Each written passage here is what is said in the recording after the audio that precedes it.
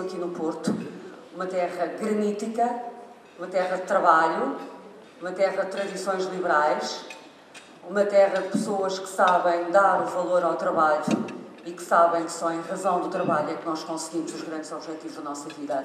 São estas referências do Porto que me acompanham a vida toda, que eu levei para Lisboa quando senti que tinha que mudar para a capital para poder fazer a minha carreira, mas não esqueço as minhas origens, as minhas raízes, não esqueço as gentes do Porto e não esqueço o valor e o simbolismo desta cidade.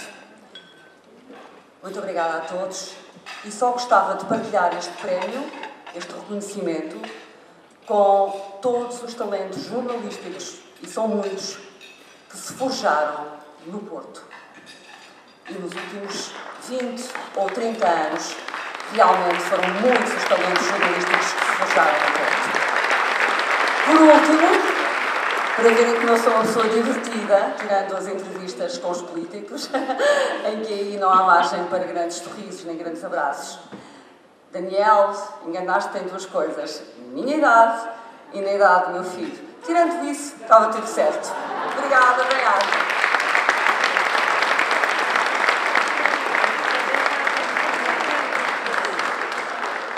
Bom, para entregar o troféu à Judite de Souza, vou pedir a um homem do Norte, um jornalista também, um portista ferreiro, um cantor também, que venha aqui ao palco entregar, Júlio Magalhães.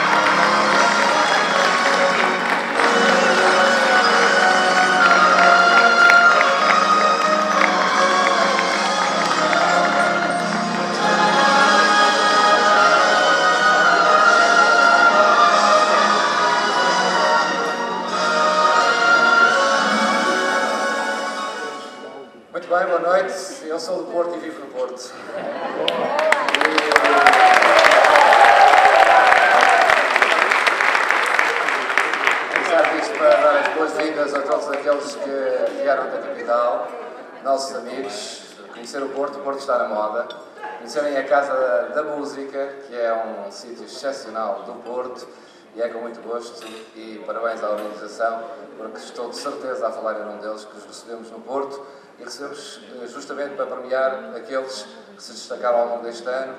E eu estou aqui sobretudo para, eh, enfim, eh, falar da Judite Souza, esta amiga de longos anos, com quem já trabalhei, com, com quem tive o privilégio de trabalhar na RTP há muitos anos e depois, já numa parte final, quando ela veio para a TV, ainda tivemos um ano a trabalhar juntos, fomos fazer dois casamentos juntos, não foi o nosso, mas. verdade.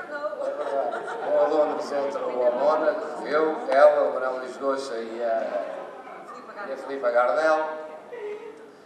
Estava ali sentado na mesa e estava a pensar que eh, em 91, 92, eh, comecei a, a apresentar televisão com o Luís Goxa, fazíamos os dois o programa da manhã aqui na RTP Porto, 5 horas em direto.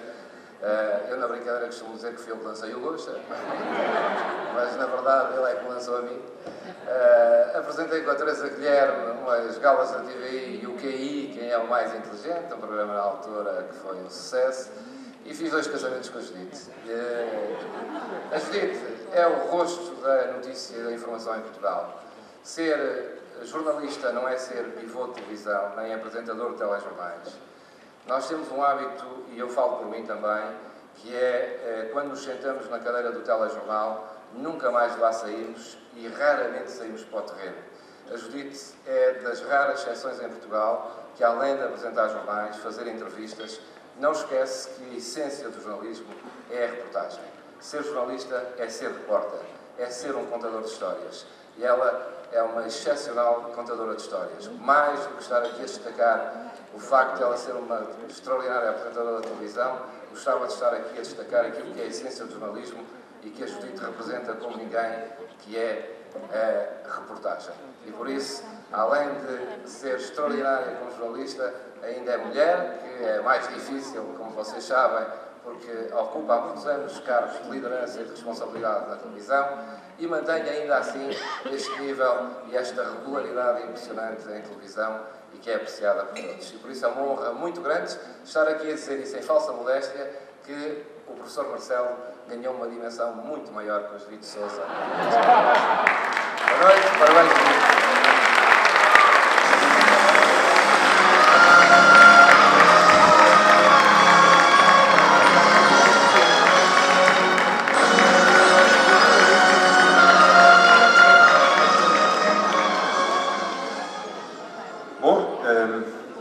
À reta final desta entrega de troféus. Vamos agora para a categoria Personalidade do Ano. Agora o quinto e último troféu. Bom, é o último, mas podia ser o primeiro. Este, este é, para além de um momento justíssimo, a distinção a um grande profissional e à semelhança dos anteriores colegas que por aqui passaram, uma justa homenagem. Mas para vos falar da entrega da personalidade do ano, chamo este palco o mentor desta brilhante noite, Daniel Martins.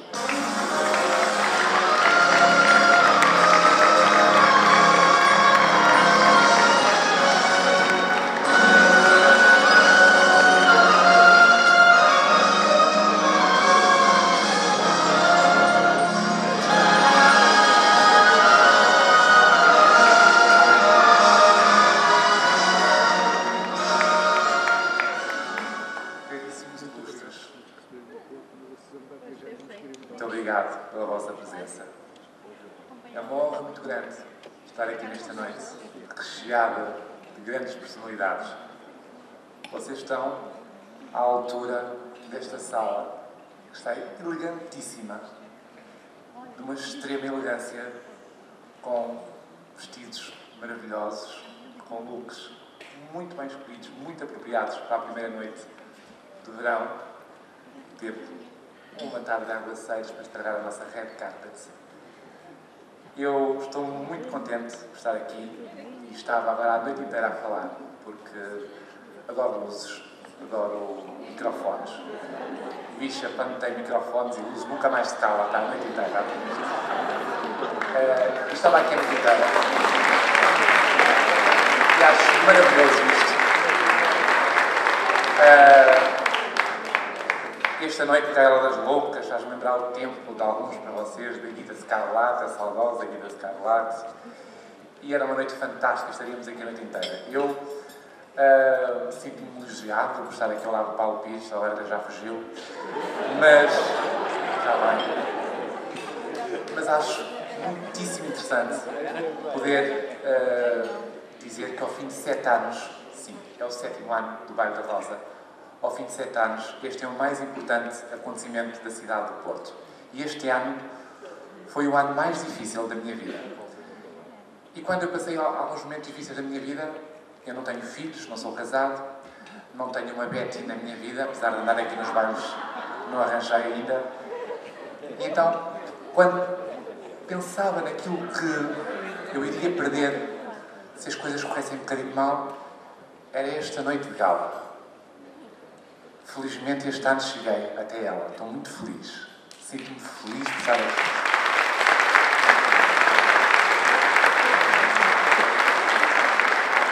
E por esta noite ter corrido muito bem e por vocês terem vindo vestidos ao rigor daquilo que eu esperava, eu sinto-me motivado para continuar. E sinto-me também motivado para falar da personalidade, como o Paulo Pires disse muito bem, que vamos distinguir a seguir. É a história de um homem que marcou a história da televisão em Portugal. É a história de um homem que tem muito, mas muito, para acrescentar. Porque é uma história que faz parte da história de muitos portugueses. E ainda assim, julgo eu, julgamos todos, é uma história inacabada com muito para acrescentar. Nós, Comissão de Embaixadores do Bar da Rosa, reunimos no passado mês de março e a primeira opção foi distingui-lo. A segunda era distinguir o Vasco da Moura. Ainda bem ficamos pela primeira. Porque felizmente perdemos um português notável. Mas a nossa opção manteve-se e foi unânime a decisão de distinguir a personalidade que tem brilhado em todos os quadrantes por onde passa, quer na arte de entreter, quer na arte de comunicar de uma forma séria. Mas o Paulo Pires vai continuar a apresentar esta noite e vamos uh, chamar ao palco as pessoas que nos ajudaram a chegar até esta escolha, as embaixadoras do Bar da Rosa. Muito bem, vamos lá. Vamos lá. Começamos? Começas tu. Começo eu. Começo pela Aurora Marques. Alzira Oliveira. Fátima Oliveira. Madalena Silva. Maria Glória Santos. Maria Fátima Lobo. Graça Rodrigues, não sendo embaixadora, ajudou e muito. Elvira Sá. E a nossa querida amiga, a amiga Olga, faz 80 anos, no dia 7, ela gosta de isto. Eu quero na amiga Olga. Passava o pão aquelas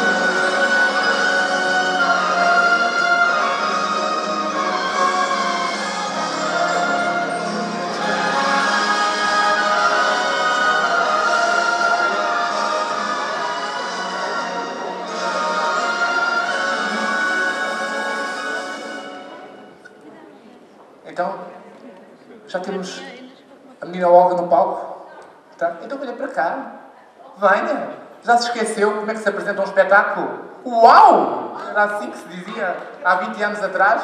É verdade. O Manuel Luís não estava lá na TV. Se calhar é mais fácil com Não. este, com este Não, microfone. não, estava, estava. O Manuel Luís já estava comigo. É este para mim? Está bem. Está bom, obrigada. Paulo, é um prazer conhecê-lo. Obrigada. Vida! Agora o rapaz está comigo não é prazer conhecer, pá. Então, é, é, eu tenho os olhos, pá. A mulher não está aqui, pá, não. A esposa, ainda bem. Ah, também, uma velha de 80 anos já não faz nada. Ora, muito bem, eu, eu estou a gostar tanto, tanto, tanto de estar aqui esta noite vocês não fazem, não fazem ideia. Não conhecia a Casa da Música, hoje estou a conhecer, realmente é, um, é uma loucura, é lindíssimo. Eu não dava nada pelo Cisa Vieira, desculpem lá, porque eu não gosto dele. Uh, mas que fez um trabalho fantástico, não há dúvida que o fez. Uh, eu penso que todos estão contentes por estarmos aqui ou não.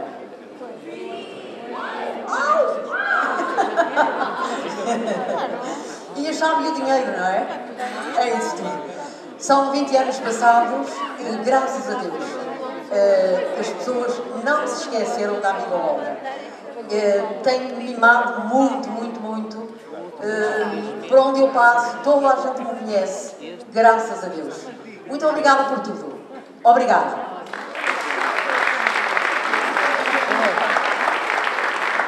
Caríssima Olga, sei que tem um discurso para ler. Uh, vamos então ao discurso.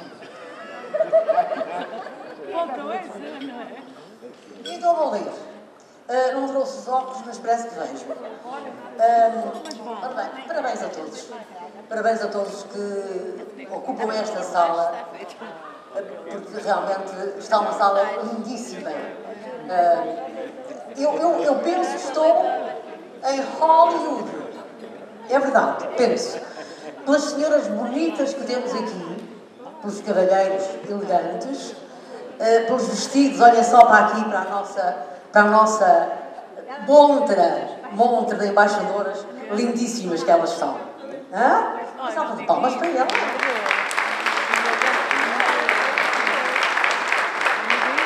Ora, muito bem, eh, eu também quero uma salva de palmas muito grande, mas muito grande, muito sentida, aqui para o meu querido filho, Daniel Martins.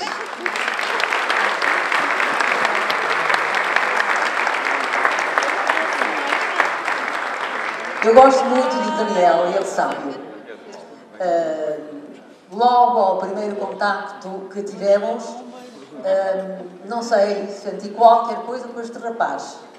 É verdade. Uh, e gosto muito, muito dele de coração. E eu penso que ele também gosta de mim, ou não? Oh, estava a ver. Estava a ver. Ora bem, então vou abrir. Uh, parabéns a todos os ilustres convidados que se encontram nesta sala da Casa da Música, uh, um dos maiores ícones da cidade. Uh, é o cenário preferido para esta noite de gala, a tradicional o tradicional Baile da Rosa. Uma felicitação uh, especial para o mentor que lá está, que está aqui ao pé de mim, do grande acontecimento deste baile, que é o nosso Daniel. Mais uma salva de palmas para ele. É o que diz aqui, eu quero que. Uh, felicito uh, os distinguidos uh, pelas suas carreiras. foram muito bem escolhidos por nós, por nós fomos. Soubemos escolher ou não? Eu acho que sim. Uh, estas personalidades foram uh, uma escolha nossa, como já disse há pouco, durante o almoço onde se analisa e se elege as figuras que se destacam uh, nas suas diversas áreas. Todo este acontecimento que envolve o trabalho de diversas entidades, artistas e profissionais do audiovisual, só é possível graças ao vosso apoio, apoio-se que também serviu para a contribuição da cedência desta sala da Casa da Música, com o valor, olha, eu nem quero dizer, isto tudo. 4.194.30. E cujo recibo, cujo recibo uh, está disponível para a consulta na página oficial Bairro da Rosa. Uh, não mentimos, estamos aqui dizer coisas verdadeiras. Ora, muito bem, e o que é que eu posso dizer mais? Que agradeço a todos a vossa presença, que agradeço mais uma vez a coragem que o Daniel tem de, de organizar um evento deste, deste, deste tamanho. Uh, é único na cidade de Porto. Uma pena que uh, não tenhamos aqui uma televisão uh, para que possa mostrar depois aquilo que fizemos esta noite. É uma pena. Mas o Porto fica sempre assim para trás. Eu tenho que lhe dizer, desculpem lá as pessoas que são de Lisboa, mas o Porto fica sempre para trás e não devia ficar. Devíamos ser sempre aqui uh, também. Obrigado. E há outra coisa também que eu fico muito triste e irritada até. Vêm várias revistas do, do Cor-de-Rosa estar connosco, mas a Caras só vai para Lisboa. O Porto não conta. Tinha que o dizer, desculpem. Obrigada.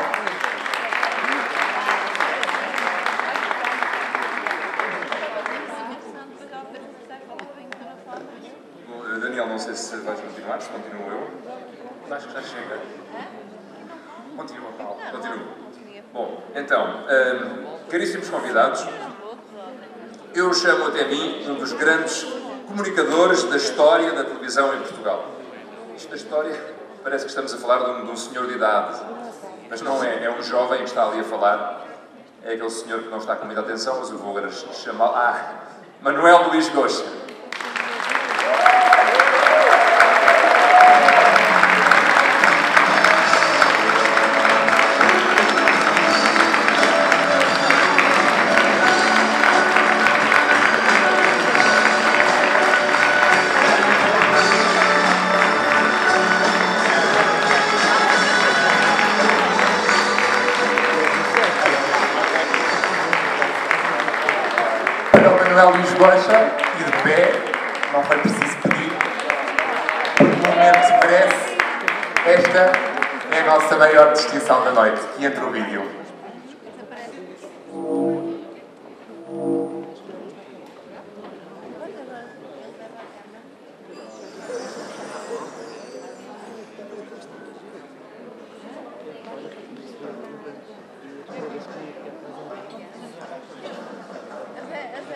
Manuel Luís Rocha. Uma receita de sucesso. Agarrou a vida, a sua vida, Nasce em Lisboa num dia de Natal, com olhos grandes de quem quer ver o mundo. Ainda criança, vai para Coimbra, onde vive com a mãe, divorciada, e o irmão mais novo até aos 17 anos, altura em que regressa à capital. Com o pai, nunca teve uma relação. Começa por ser ator profissional de teatro e participa, por exemplo, na Crónica dos Bons Malandros, mas é na televisão que encontra o seu mundo. Cedo se percebeu que Manuel Luís Goxa possuía um ingrediente secreto. Talvez a vivacidade com que se dirigia às câmaras, talvez a ambição em ser melhor, que sempre espelhou na atitude e no olhar, talvez a vontade de não ser mais um. Manuel Luís Goxa é um vencedor. De cozinheiro, especialista em doçaria, com livros de receitas publicados e crítico gastronómico, estreia-se na televisão com o programa de culinária para crianças na RTP. Estávamos em 1984. Através do estilo diferente, da descontração e da expressividade, Goja soma e segue como autor e apresentador de programas de culinária, como Gostosuras e Travessuras, Sebastião com Tudo e Portugal de Faca e Garfo. Na RTP é convidado a apresentar outros programas. Olha que dois, com Teresa Guilherme em 1993, é um deles, mas não seria o último. Neste mesmo ano, o apresentador muda-se para a TVI para ser o rosto do programa Momentos de Glória, mas não tardou a voltar à RTP para estar à frente de programas como Viva Amanhã, A Grande Pirâmide e a Praça da Alegria, onde esteve durante sete anos em 1250 programas. Manuel Luís Goxa fez da televisão a sua segunda casa e é na TVI que, a partir de 2002, dá vida ao programa Olá Portugal, seguindo-se de 2004 até hoje, Você na TV. Este senhor do grande ecrã deixa ainda a sua marca nos programas da TVI. Uma canção para ti, Somos Portugal e a tua cara não me é estranha. É uma assinatura, uma forma de encarar e respeitar o público português de conquistar as audiências. Participou em inúmeras galas e programas especiais na TVI. Fez a cobertura de acontecimentos mundiais, como o casamento de William e Kate, o casamento de Charlene e Alberto do Mónaco e o lançamento da TVI Internacional. Na TVI 24 apresentou também os programas Mulheres da Minha Vida e De Homem para o Homem em 2010 e Controversos em 2012 e Tocado Lá em 2013 na Mais TVI.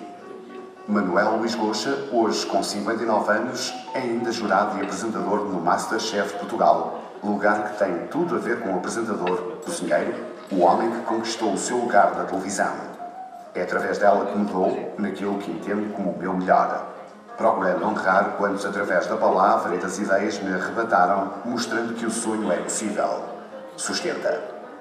Um homem de boas conversas e de paixões um apreciador de música clássica, ópera, bailado, livros, viagens, cinema e teatro.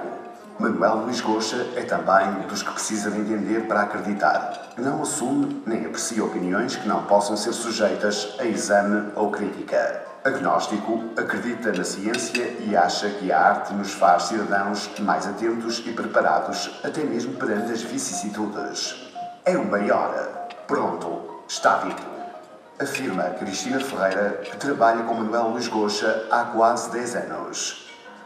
Goxa é já um ícone da televisão portuguesa. Tocou muitos portugueses com a sua forma de ser e de estar. Um homem com uma história que se conta, sem pressas, ao vivo e a cores. Um homem com carisma que comunica com prazer, sempre olhos nos olhos, com os sentidos que despertam a alma e a vida dos portugueses. Gosta reinventa-se e descobre-se, lentamente, uma receita que se testa, prova e experimenta vezes sem conta. Uma receita de sucesso como esta, feita ao sabor de Manuel Luís Goxa e com um paladar que nunca se esquece.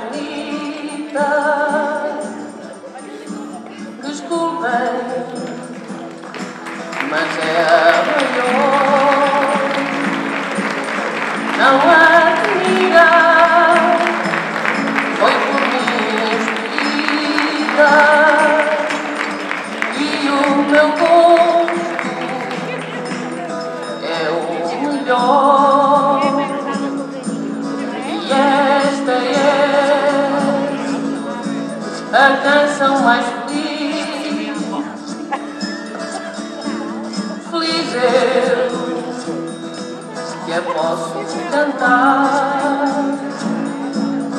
E é o meu maior grito de vida. Foi o seu grito, o meu despertar. Canção de mãe é sorrir, canção berço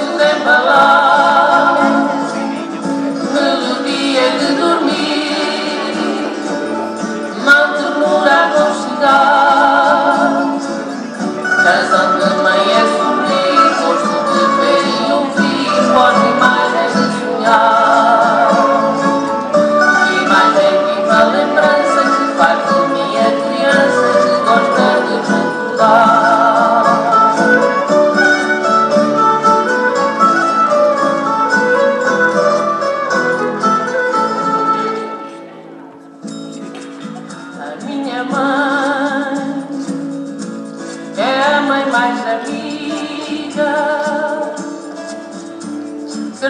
Certeza com que posso contar,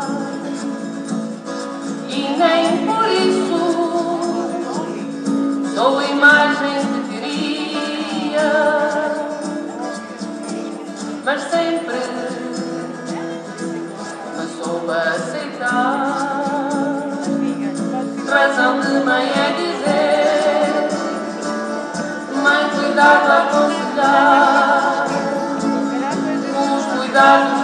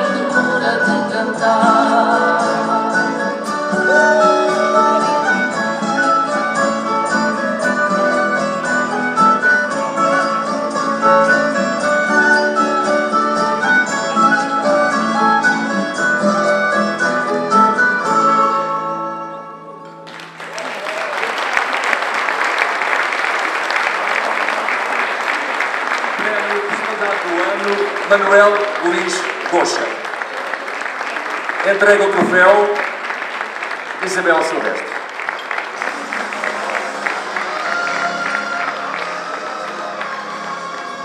Boa noite. Bem, é assim, tudo o que eu pudesse ter engendrado para dizer aqui acabou por cair por terra depois destas imagens. Aquela senhora, como devem ter percebido, a mulher da minha vida, ou uma das grandes mulheres, a mulher da minha vida, sem dúvida, a minha mãe, que está viva, tem 91 anos, vai fazer agora de- dentro de dias, vive sozinha, independente, mas hum, ter aqui a Isabel Silvestre, que é outra das mulheres da minha vida, aliás, eu tive o privilégio de conversar justamente com a Isabela no Museu Grão Vasco, em Viseu, na tal série Mulheres da Minha Vida. hum, foi arrebatador, foi, foi muito tocante, ao fim e ao cabo. É muito interessante, porque o- este espetáculo acaba por terminar da forma como começa, homenageando António Variações, porque este era um poema à mãe de António Variações, feito pelo próprio.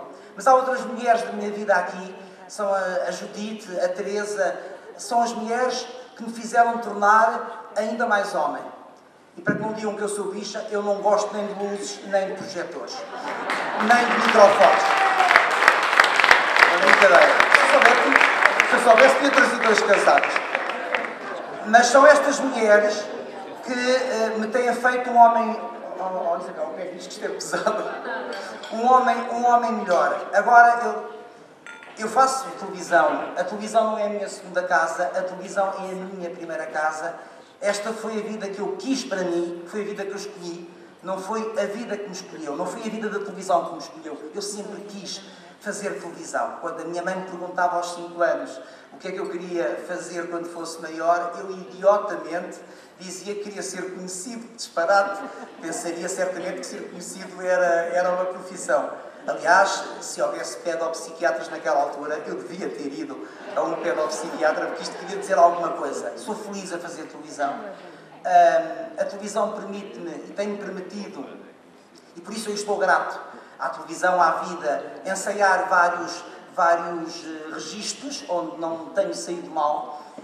É uma profissão de egos, mas eu tento diariamente que o meu ego não mate a minha alma e por isso Claro que aceito honrado e muito agradado esta distinção, mas não ficaria bem comigo próprio se não achasse que é um exagero considerarem-me personalidade do ano. Que exagero! Eu não tenho ainda, já não morri.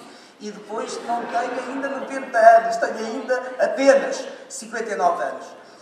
Eu sei que isto foi um ato de grande amizade, de grande afeto e de grande generosidade das senhoras embaixadoras. E por isso eu gostaria imenso de dividir é claro que o prémio vai para a minha casa. Quando muito posso fazer como a Sagrada Família, que vai à casa de cada um de três em três meses. Mas eu gostaria de dedicar este prémio porque é assim. Quando eu soube que tinha sido nomeado para esta categoria, eu recebi uma comunicação da organização uh, dirigida pelo Daniel Martins, dando-me conta da minha nomeação para personalidade do ano, juntamente com três nomes que eu respeito imenso e que acho que qualquer um deles seria mais merecedor do que eu. Camilo de Oliveira, um homem com mais de 70 anos e grande parte destes anos foram dedicados à arte de representar. Portanto, são mais conhecidos. Nicolau Breiner, cantor, autor, realizador, ator, diretor de atores. Meu Deus, como, lhes, como lhe assentaria bem este prémio. E depois, talvez, o mais excelente de todos, Senhoras e senhores convidados, de momentos inicia-se o baile de gala.